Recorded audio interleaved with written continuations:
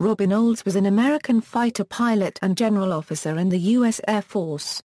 He was a triple ace, with a combined total of 16 victories in World War II and the Vietnam War. He retired in 1973 as a brigadier general. The son of regular Army Major General Robert Olds, educated at West Point, and the product of an upbringing in the early years of the U.S. Army Air Corps, Olds epitomized the youthful World War II fighter pilot. He remained in the service as it became the United States Air Force, despite often being at odds with its leadership, and was one of its pioneer jet pilots. Rising to the command of two fighter wings, Olds is regarded among aviation historians, and his peers, as the best wing commander of the Vietnam War, for both his air fighting skills, and his reputation as a combat leader. Olds was promoted to brigadier general after returning from Vietnam but did not hold another major command. The remainder of his career was spent in non-operational positions, as Commandant of Cadets at the United States Air Force Academy and as an official in the Air Force Inspector General's office. His inability to rise higher as a general officer is attributed to both his maverick views and his penchant for drinking. Olds had a highly publicized career and life, including marriage to Hollywood actress Ella Raines.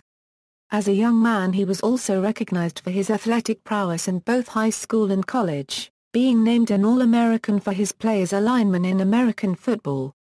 Olds expressed his philosophy regarding fighter pilots in the quote, There are pilots and there are pilots. With the good ones, it is inborn. You can't teach it. If you are a fighter pilot, you have to be willing to take risks. Early life, Olds was born Robert Olds, Jr. in Honolulu into an Army family and spent much of his boyhood in Hampton, Virginia where he attended elementary and high school.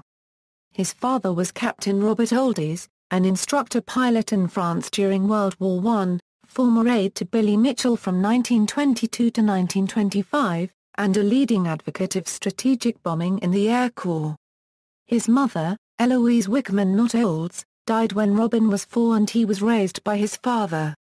Olds was the eldest of four brothers, followed by Stephen, Sterling, and Frederick.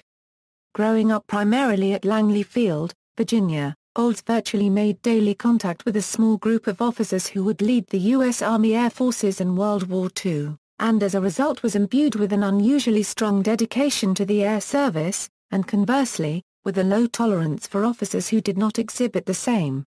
On November 10, 1925, his father appeared as a witness on behalf of Billy Mitchell during Mitchell's court-martial in Washington. D.C. He brought three-year-old Robin with him to court, dressed in an air service uniform, and posed with him for newspaper photographers before testifying. Olds first flew at the age of eight, in an open cockpit biplane operated by his father. At the age of 12, Olds made attending the U.S.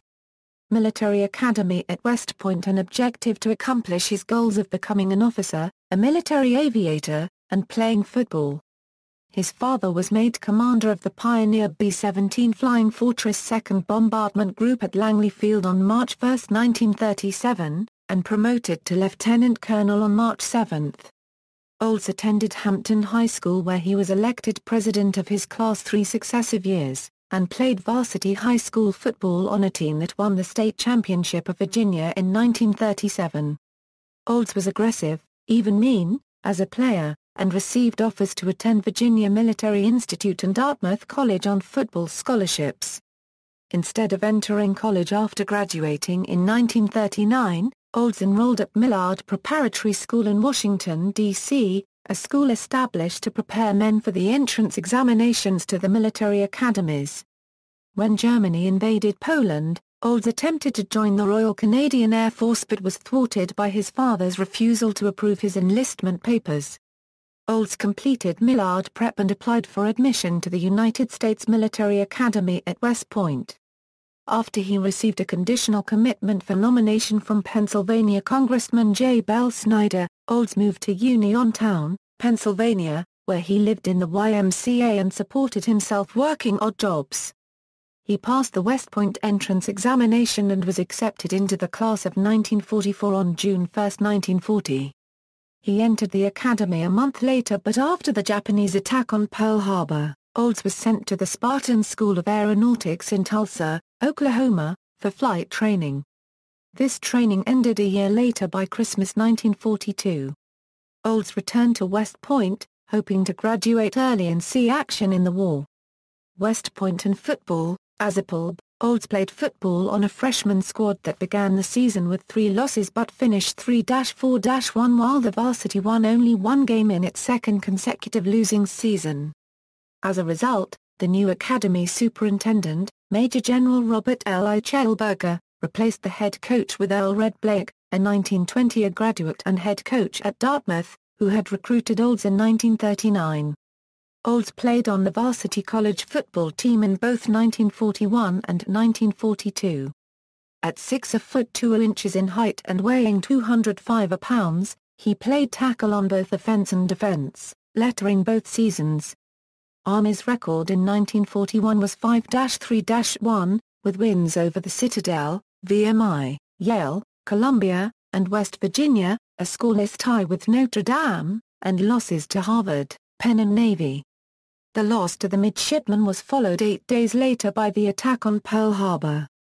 In 1942 he was named by Collier's Weekly as its Lineman of the Year, and by Grantland Rice as Player of the Year. Olds was also selected as an All-American as the cadets compiled a 6-3 record, beating Lafayette College, Cornell, Columbia, Harvard, VMI, and Princeton, and falling to Notre Dame, Penn, and Navy. In the Army-Euro-Navy game of 1942, which was played at Annapolis instead of Philadelphia, Olds had both upper front teeth knocked out when he received a forearm blow to the mouth while making a tackle. Olds returned to the game and reportedly was cheered by the Navy 3rd and 4th classes, which were assigned as the Army cheering section when wartime travel restrictions prevented the Corps of Cadets from attending. In 1985 Olds was enshrined in the College Football Hall of Fame. Olds developed ambivalent feelings about West Point, admiring its dedication to duty, honor, country, but disturbed by the tendency of many tactical officers to distort the purpose of its honor code. In March 1943, Olds was braced by an officer upon returning from leave in New York City, and compelled on penalty of an honor violation to admit he had consumed alcohol.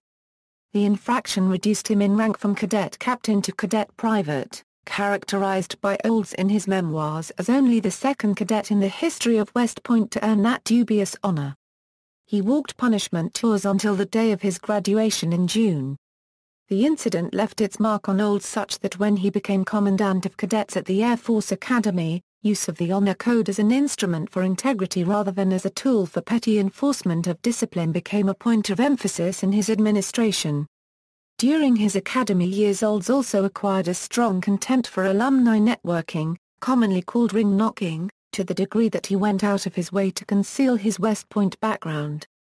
By an act of Congress on October 1, 1942, during Old's second-class year, the Academy began a three-year curriculum for the duration of the war for cadets entering after July 1939.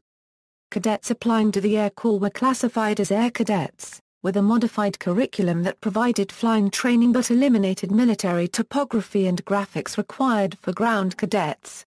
Old's class was given an abridged second-class course of study until January 19, 1943, when it began an abridged first-class course. Olds completed primary training in the summer of 1942 at the Spartan School of Aviation in Tulsa, Oklahoma, and basic and advanced training at Stewart Field, New York 208 cadets including Olds completed the course, while five classmates died in accidents. Olds received his pilot's wings personally from General Henry H. Arnold on May 30, 1943, and graduated on June 1 as a member of the class of June 1943, 194th in general merit of 514 graduates. World War II fighter pilot, P-38 Lightning missions, Lieutenant Olds completed fighter pilot training with the 329th Fighter Group, an operational training unit based at Grand Central Air Terminal in Glendale, California. His initial twin-engine training at Williams Field, Arizona, was in the Curtiss 89, followed by transition fighter training to the Lockheed P-38 Lightning in its P-322 variant. After gunnery training at Matagorda, Texas in the first half of August 1943, He was assigned to P-38 phase training at Muroc Army Airfield, California. In early 1944 he became part of the cadre assigned to build up the newly activated 434th Fighter Squadron and its parent 479th Fighter Group, based at Lomita, California. Olds logged 650 hours of flying time during training, including 250 hours in the P-38 Lightning, as the 479th built its proficiency as a combat group. It departed the Los Angeles area on April 15 for Camp Kilmer, New Jersey, and shipped aboard the USS Argentina for Europe on May 3. The 479th arrived in Scotland on May 14, 1944, and entrained for RAF Wattisham, England, where it arrived the next day. The 479th began combat on May 26, flying bomber escort missions and attacking transportation targets in occupied France in advance of the invasion of Normandy. Olds flew a new P-38J Lightning that he nicknamed Scat-2. Olds crew chief, T. Sergeant Glenn A. Wold, said that he showed an immediate interest in aircraft maintenance and learned emergency servicing under Wold. He also insisted his aircraft be waxed to reduce air resistance and helped his maintenance crew carry out their tasks. On July 24 Olds was promoted to captain and became a flight and later squadron leader. Following a low-level bridge bombing mission to Montmirail, France, on August 14, Olds shot down his first German aircraft, a pair of Focke-Wulf FW-190s. On an escort mission to Wismar on August 25, his flight was on the far left of the group's line abreast formation and encountered 40 to 50 Messerschmitt Bf-109s near Wittenberge, flying north at the same 28,000 aft altitude in a loose formation of three large Vs. Olds turned his flight left and began a 10-minute pursuit in which they climbed to altitude above and behind the Germans. Over bar one quarter Tzo, undetected by the Germans, Olds and his wingmen jettisoned their fuel drop tanks and attacked, although the second element of the flight had been unable to keep up during the climb. Just as Olds began firing, both engines of his P-38 quit from fuel exhaustion. In the excitement of the attack he had neglected to switch to his internal fuel tanks. He continued attacking in dead stick mode, hitting his target in the fuselage and shooting off part of its engine cowling. After fatally damaging the Bf-109 he dived away and restarted his engines. Despite battle damage to his own plane, including loss of a side window of its canopy, Olds shot down two during the dogfight and another on the way home to become the first ace of the 479th FG. His combat report for that date concluded. Still in a shallow dive, I observed another P-38 and an Me-109 going round and round.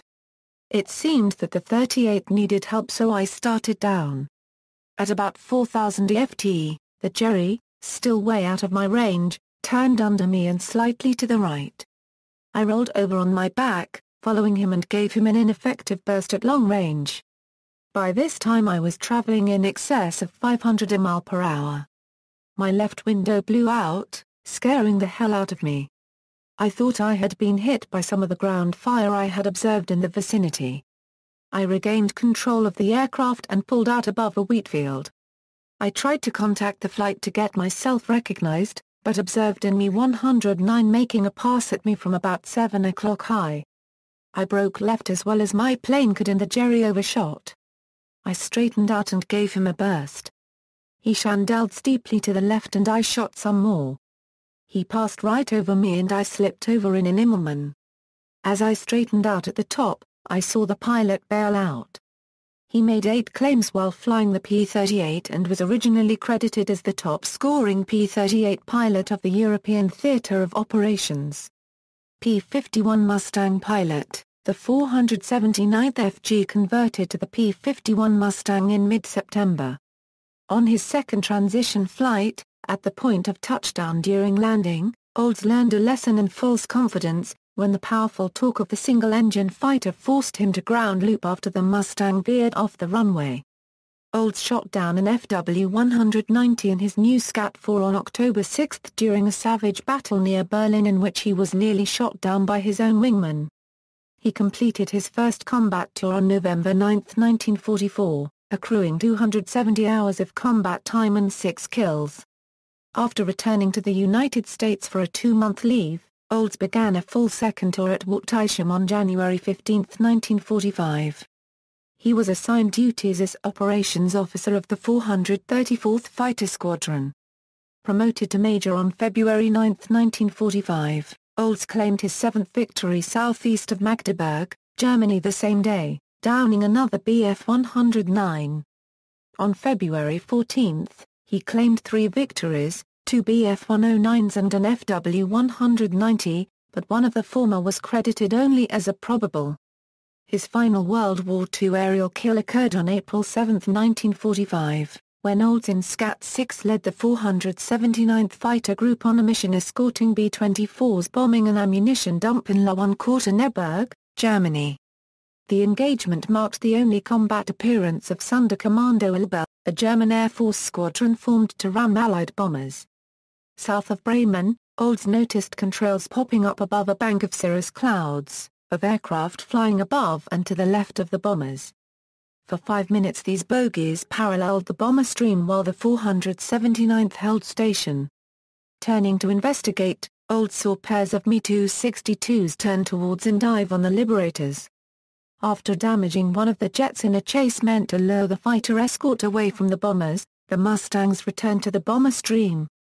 Olds observed in Me-109 of Sonderkommando Elbe attack the bombers and shoot down a B-24. Olds pursued the Me-109 through the formation, and shot it down. Olds achieved the bulk of his strafing credits the following week in attacks on Lauenkortebeck Blankensee and Tarnowitz aerodromes on April 13, and Reichersberg Airfield in Austria on April 16, when he destroyed six German planes on the ground. He later reflected on the hazards of such missions.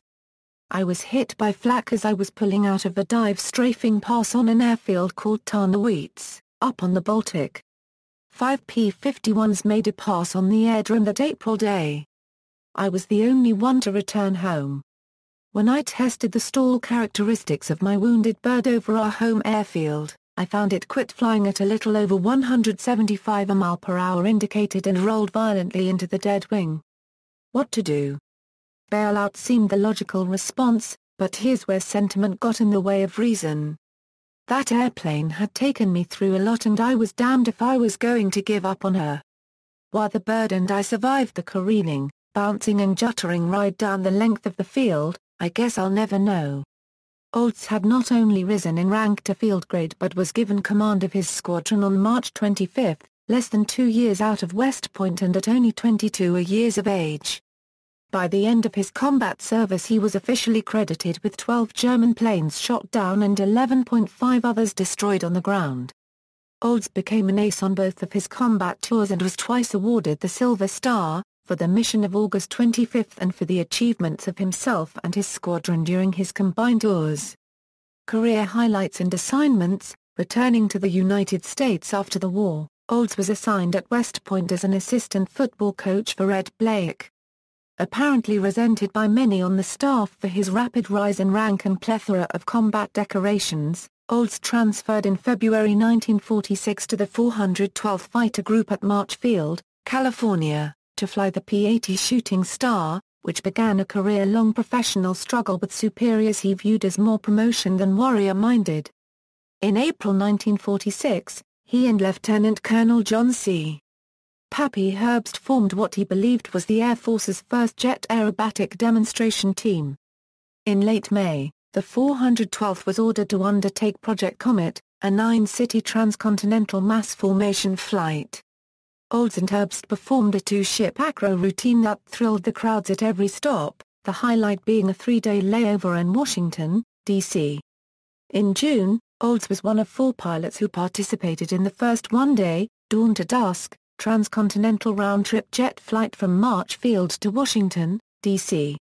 The jet demonstration performances with Herbst ended tragically on July 4, 1946, when Herbst crashed at the Del Mar racetrack after his aircraft stalled during an encore of their routine finale in which the P-80s did a loop while configured to land. Later that same year Olds took second place in the Thompson Trophy race of the Cleveland National Air Races at Brook Park, Ohio over the Labor Day weekend. In this first closed-course jet race, six P-80s competed against each other on a three-pylon course 30 miles in length. Olds went to England under the U.S. Air Force Royal Air Force Exchange Program in 1948.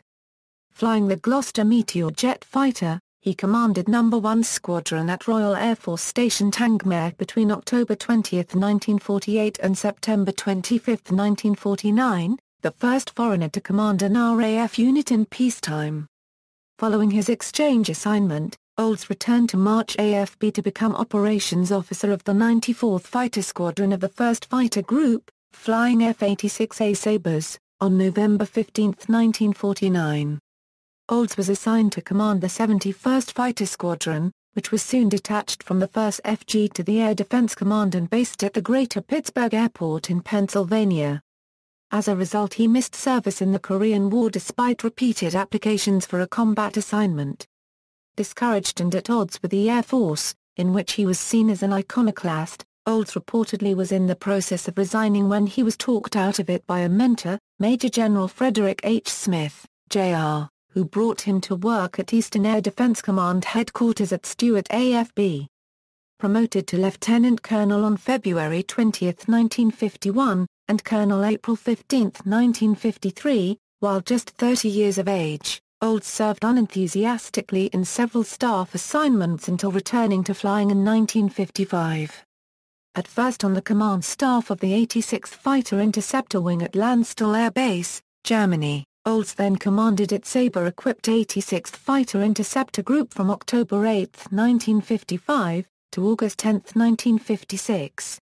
He then was made chief of the Weapons Proficiency Center at Wheelus Air Base, Libya, in charge of all fighter weapons training for the United States Air Forces Europe until July 1958. Olds had administrative and staff duty assignments at the Pentagon between 1958 and 1962 as the Deputy Chief, Air Defense Division, Headquarters USAF. In this assignment he prepared a number of papers, iconoclastic at the time, which soon became prophetic, including identifying the need for upgraded conventional munitions, and the dearth of any serious tactical air training in conventional warfare. From November 1959 to March 1960, his section worked intensely to develop a program reducing the entire structure of the ADC with the purpose of generating $6.5 billion for classified funding to develop the SR-71 Blackbird. Following his Pentagon assignment, Olds attended the National War College, graduating in 1963. Olds next became commander of the 81st Tactical Fighter Wing at RAF Bentwaters, England, an F-101 Voodoo fighter bomber wing, on September 8, 1963. The 81st TFW was a major combat unit in United States Air Forces Europe, having both a tactical nuclear and conventional bombing role supporting NATO. Olds commanded the wing until July 26, 1965. As his deputy commander of operations Olds brought with him Colonel Daniel Chappie James, Jr., whom he had met during his Pentagon assignment and who would go on to become the first African-American four-star Air Force general. James and Olds worked closely together for a year as a command team and developed both a professional and social relationship which was later renewed in combat. Olds formed a demonstration team for the F-101 using pilots of his wing, without command authorization, and performed at an Air Force open house at Bentwaters. He asserted that his superior at 3rd Air Force attempted to have him court-martialed, but the commander of USAFE, General Gabriel P. Disosway, instead authorized his removal from command of the 81st TFW, cancellation of a recommended Legion of Merit award, and transfer to the headquarters of the 9th Air Force at Shaw Air Force Base, South Carolina. In September 1966, Olds was tapped to command an F-4C Phantom wing in Southeast Asia. En route he arranged with the 4,453rd Combat Crew Training Wing, Davis-Monthan Air Force Base, Arizona, to be checked out in the Phantom, completing the 14-step syllabus in just five days. His instructor was Major William L. Kirk, the 4,453rd CCTW Standardization and Evaluation Officer, who had been one of Olds' pilots at RAF Bentwaters, and who later commanded the United States Air Forces Europe as a full general. Kirk accompanied Olds for practice firing of AIM-7 Sparrow and AIM-9 Sidewinder missiles on the Point Mugu missile range while Olds was en route to Travis Air Force Base for his charter flight overseas. Olds rewarded Kirk by granting him a transfer to his command in Thailand in March 1967. Vietnam On September 30, 1966, Olds took command of the 8th Tactical Fighter Wing, based at Ubon Royal Thai Air Force Base. A lack of aggressiveness and sense of purpose in the wing had led to the change in command. The 44-year-old colonel also set the tone for his command stint by immediately placing himself on the flight schedule as a rookie pilot under officers junior to himself, then challenging them to train him properly because he would soon be leading them. Old's vice commander was Colonel Vermont Garrison, an ace in both World War II and Korea, and in December Olds brought in James to replace an ineffective deputy commander for operations, creating arguably the strongest and most effective tactical command triumvirate of the Vietnam War. The Olds-James combination became popularly nicknamed Blackman and Robin. Olds took to the air war over North Vietnam in an F-4C Phantom he nicknamed, in keeping with his previous aircraft, Scat XXVII, MiG Killer, after suggesting the idea to 7th Air Force Commander Major General William Momyer, himself a former commander of the 8th TFW, Olds was directed to plan a mission designed to draw the North Vietnamese and Gurevich MiG-21s into an aerial trap, and Operation Bolo resulted. In October 1966, Strike Force F-105 Thunder Thunderchiefs were equipped with QRC-160 radar jamming pods whose effectiveness virtually ended their losses to surface-to-air missiles. As a result, SAM attacks shifted to the Phantoms, unprotected because of a shortage of pods. To protect the F-4s, rules of engagement that allowed the MiG-CAP to escort the strike force in and out of the target area were revised in December to restrict MiG-CAP penetration to the edge of SAM coverage. MiG interceptions increased as a result, primarily by MiG-21s using high-speed hit-and-run tactics against bomb-laden F-105 formations, and although only two bombers had been lost, the threat to the force was perceived as serious. The Bolo plan reasoned that by equipping F-4s with jamming pods, using the call signs and communications code words of the F-105 wings, and flying their flight profiles through northwest Vietnam, the F-4s could effectively simulate an F-105 bombing mission and entice the MiG-21s into intercepting not bomb-laden Thunderchiefs, but Phantoms configured for air-to-air -air combat. After an intensive planning, maintenance, and briefing period, the mission was scheduled for January 1, 1967. Poor weather caused a 24-hour delay, but even then, a solid overcast covered the North Vietnamese air bases at Pha Sien, Gia Lam, Kep, and Cat Bi when the bogus strike force began arriving over the target area, five-minute intervals separating the flights of F-4s. Leading the first flight, Olds overflew the primary MiG-21 base at Sien and was on a second pass when MiGs finally began popping up through the cloud base. Although at first seemingly random in nature, it quickly became apparent that the MiGs were ground-controlled intercepts designed to place the supposed F-105s in a vice between enemies to their front and rear.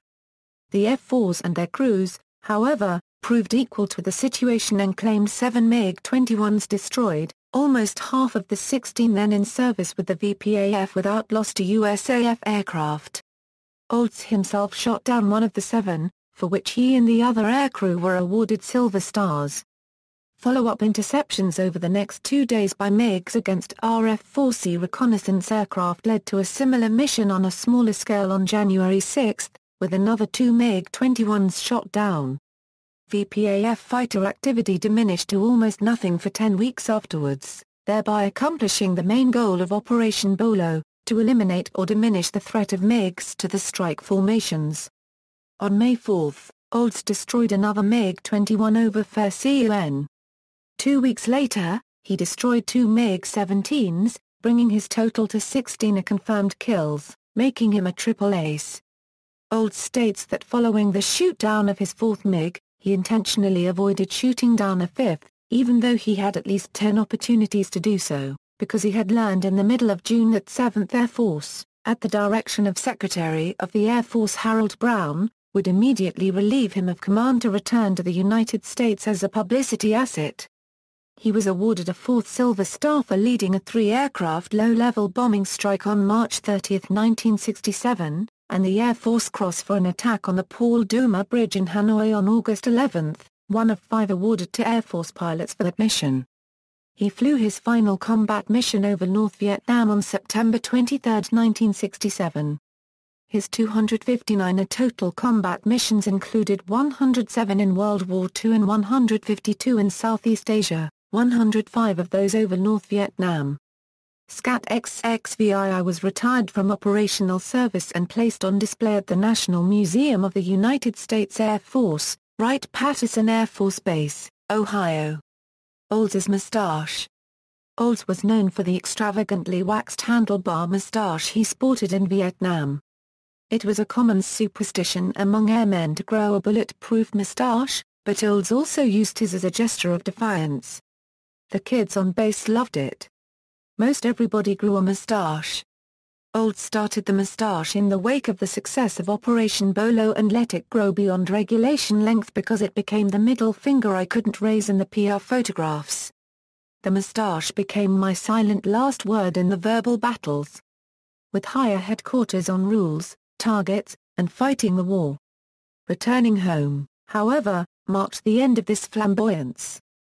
When he reported to his first interview with Air Force Chief of Staff General John P. McConnell, McConnell walked up to him, stuck a finger under his nose and said, Take it off. Olds replied, Yes, sir. For his part, Olds was not upset with the order, recalling. To tell the truth, I wasn't all that fond of the damned thing by then but had become a symbol for the men of the 8th Wing. I knew McConnell understood. During his visits to Ubon over the past year he had never referred to my breach of military standards, just seemed rather amused at the variety of stashes sported by many of the troops was the most direct order I had received in 24 years of service.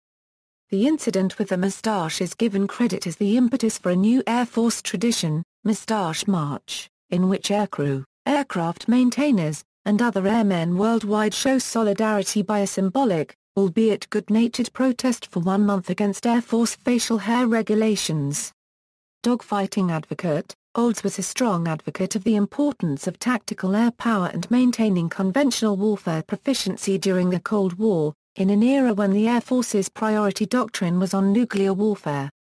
In 1962 he was ordered to stop writing a paper on the importance of conventional and tactical air power by his commander. We weren't allowed to dogfight. Very little attention was paid to strafing, dive bombing, rocketry, stuff like that. It was thought to be unnecessary. Yet every confrontation America faced in the Cold War years was a bombs and bullets situation, raging under an uneasy nuclear standoff. The Vietnam War proved the need to teach tactical warfare and have fighter pilots. It caught us unprepared because we weren't allowed to learn it or practice it in training. Olds often lamented the lack of an internal gun in the F-4C he flew during his tour in Vietnam, but would not allow his fighters to be equipped with the gun pods then available. While he knew that he would be capable of effectively using them, he was also aware that none of his pilots were trained in the use of a gun or dogfighting. He also reasoned that the drag of the pod would both degrade the performance characteristics of the F-4 while not gaining it any advantage against the more maneuverable MiG-17s and MiG-21s, result in unnecessary losses strafing worthless targets, and reduce the number of bombs carried by the Phantoms, the delivery of which was the 8th's primary mission. The History Channel, in its series Dogfights, recreated Operation Bolo using a computer animation for an episode entitled Air Ambush, first telecast on November 10, 2006. Olds, then 84 years old, appeared as a commentator, and as background, dogfights he experienced as a P-38 pilot were also recreated. Post-Southeast Asia career, Air Force Academy 1967-71 After relinquishing command of the 8th TFW on September 23, 1967, Olds reported for duty to the United States Air Force Academy in Colorado Springs, Colorado, in December 1967. He served as Commandant of Cadets for three years and sought to restore morale in the wake of a major cheating scandal. Olds was promoted to Brigadier General on June 1, 1968, with seniority dating from May 28. Director of Aerospace Safety, in February 1971 he began his last duty assignment as Director of Aerospace Safety in the Office of the Inspector General, Headquarters USAF, and after December 1971 as part of the Air Force Inspection and Safety Center, a newly activated separate operating agency located at Norton Air Force Base, California. Olds oversaw the creation of policies, standards, and procedures for Air Force accident prevention programs, and dealt with work safety education, workplace accident investigation and analysis, and safety inspections. 1971 Inspection Tour and Retirement, Air Force Inspector General and West Point classmate Lieutenant General Louis L. Wilson Jr., sent Olds to Southeast Asia in the autumn of 1971 to determine the state of readiness of Air Force pilots. Olds toured USAF bases in Thailand and brought back a blunt assessment. Air Force pilots, he reported to Air Force Chief of Staff John D. Ryan, couldn't fight their way out of a wet paper bag, because of a systemic lack of interest by the USAF in air-to-air -air combat training. He warned that losses would be severe on any resumption of aerial combat. Olds recalled that Ryan expressed surprise at this assessment and reflected his disagreement. When Operation Linebacker began in May 1972, American fighter jets returned to the offense in the skies over North Vietnam for the first time in nearly four years. Navy and Marine Corps fighters, reaping the benefits of their Top Gun program, immediately enjoyed considerable success. In contrast by June, as Olds had predicted, the Air Force's fighter community was struggling with a nearly 1-1 kill-loss ratio. To the new Inspector General, Lieutenant General Ernest C. Hardin, Jr., Olds offered to take a voluntary reduction in rank to colonel so he could return to operational command and straighten out the situation. Olds decided to leave the Air Force when the offer was refused and he retired on June 1, 1973. Awards and decorations, Robin Olds ribbons as they appeared at retirement. From top, and from left to right, Command Pilot. Row 1, Air Force Cross. Air Force Distinguished Service Medal. Row 2, Silver Star, 3 oak leaf clusters. Legion of Merit. Distinguished Flying Cross, 5 oak leaf clusters. Row 3, Air Medal, with 39 oak leaf clusters. Row 4, Air Force Commendation Medal. Presidential Unit Citation, with oak leaf cluster. Outstanding Unit Award, with two oak leaf clusters. American Defense Service Medal. Row 5, American Campaign Medal. European African Middle Eastern Campaign Medal with six campaign stars. World War II Victory Medal. National Defense Service Medal, with second award star. Row 6, Vietnam Service Medal. Air Force Longevity Service Award, with six oak leaf clusters. Small Arms Expert Marksmanship Medal. La Copyright Guin d'Honneur. Row 7, Distinguished Flying Cross. Croix de Guerre, with star. Vietnam Air Gallantry Cross with gold wings. Republic of Vietnam Campaign Medal.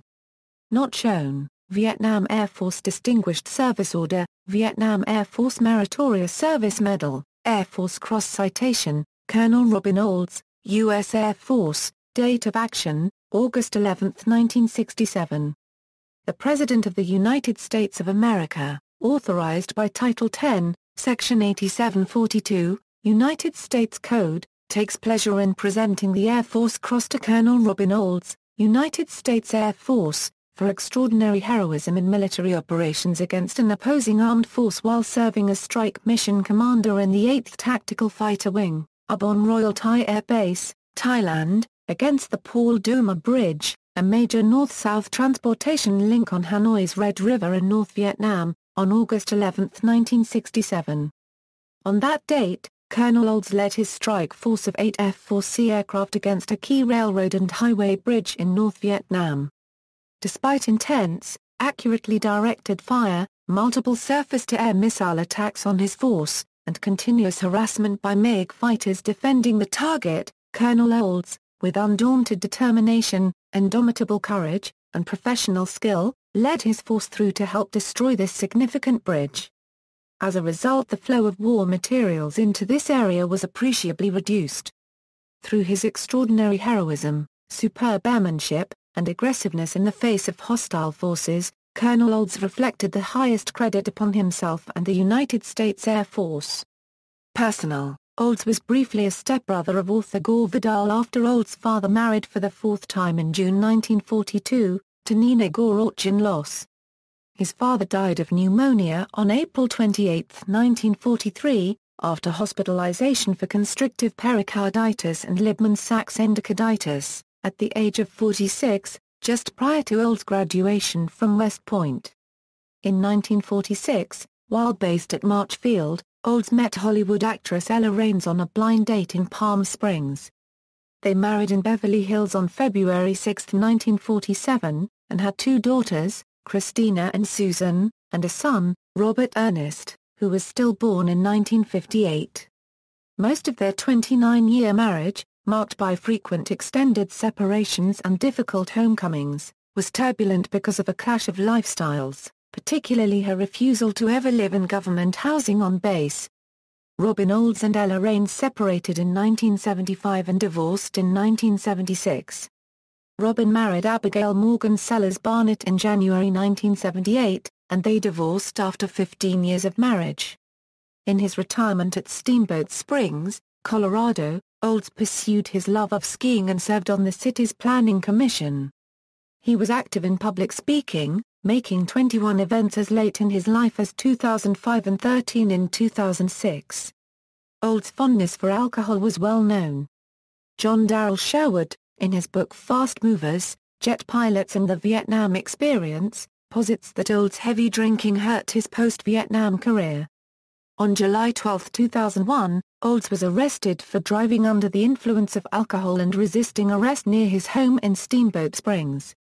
Olds, briefly hospitalized during the incident for facial cuts, pled guilty in return for charges of weaving and felony vehicular eluding being dropped.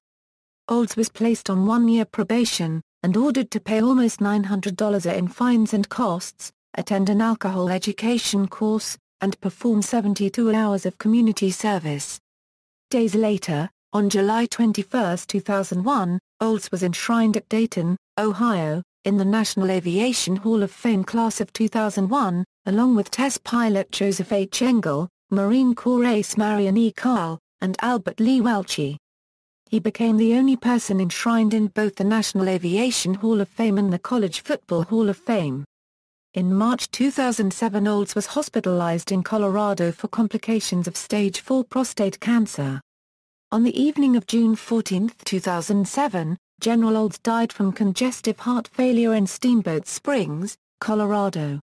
Olds was honored with a flyover and services at the United States Air Force Academy on June 30, where his ashes are kept. General Olds is remembered as the class exemplar of the Academy class of 2011, which had begun basic cadet training, the first step towards becoming Air Force officers, two days before Olds' funeral. References, Notes Bibliography Online External links Photostatic copy of Olds Victory Claim Report of February 14, 45 with links to other reports, Olds P38J 1543-28431 Scat 2, August 1944, profile image of Scat 6P51K, The Old Man and the MiGs, Time Magazine June 6, 1967, Veterans Tributes, Robin Olds, AcePilots.com, Colonel Robin Olds, Operation Bolo, AcePilots.com, Major Robin Olds, WW2, 8th Tactical Fighter Wing Vietnam Era website, Memorial Service for Brigadier General Robin Olds at U.S. Air Force Academy, June 30, 2007, Air Force Times Obituary, ATFW.com Photo Gallery Tribute, Robin Olds at Find a Grave.